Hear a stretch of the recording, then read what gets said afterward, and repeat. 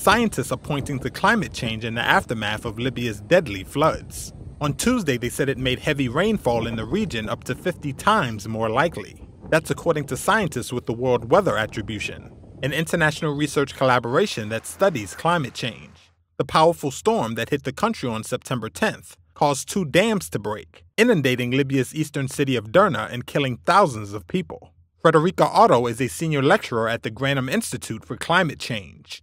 I think what we consistently find, no matter how we looked at the event, wh- which data set we use, or also which exact region we use, that we find an increase in the intensity. So while there is limitations on uh, on the data in terms of how, how what the exact return time of the event is and the exact magnitude, that doesn't affect very much the climate change signal.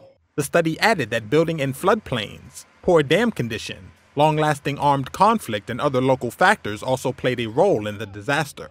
It also warned that as climate change pushes weather to new extremes, it would remain risky to build homes on floodplains or to use substandard materials. Meanwhile, climate change also caused up to a 40% increase in the amount of rain that fell in early September across the Mediterranean, causing floods that killed dozens in Greece, Bulgaria, and Turkey.